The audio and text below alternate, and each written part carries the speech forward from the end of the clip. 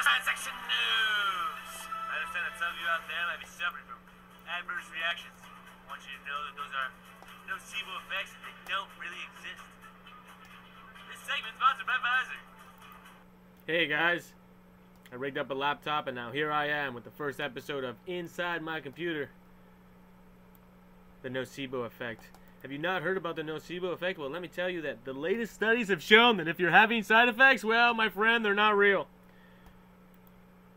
I'm not joking. Study published in the journal JAMA Network Open suggests most mild symptoms associated with the COVID-19 vaccines could be caused by a negative version of the placebo effect or nocebo effect rather than the vaccine itself.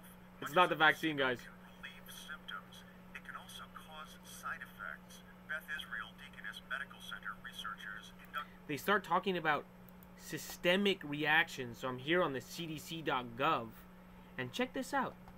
There's a placebo group. Didn't know that until I went over here and checked it. It would appear that some people are getting placebos. And also, a lot of people are having systemic reactions, which they later say is like nausea, vomiting, chills.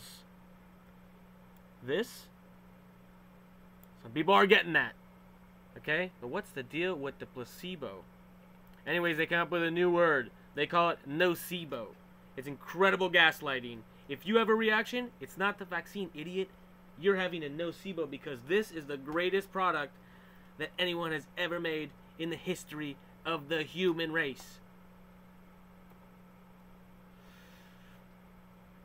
Wasn't that Trump's uh, sales line? Here we are, guys. It accounts for 76% of all side effects. So if you got it, you don't. This has been the Nocebo Effect episode. Check out Funny Bunny. He's on Instagram. I'm shadow banned, but you can still go and check out my content. I got Bunny comics. Wear your mask.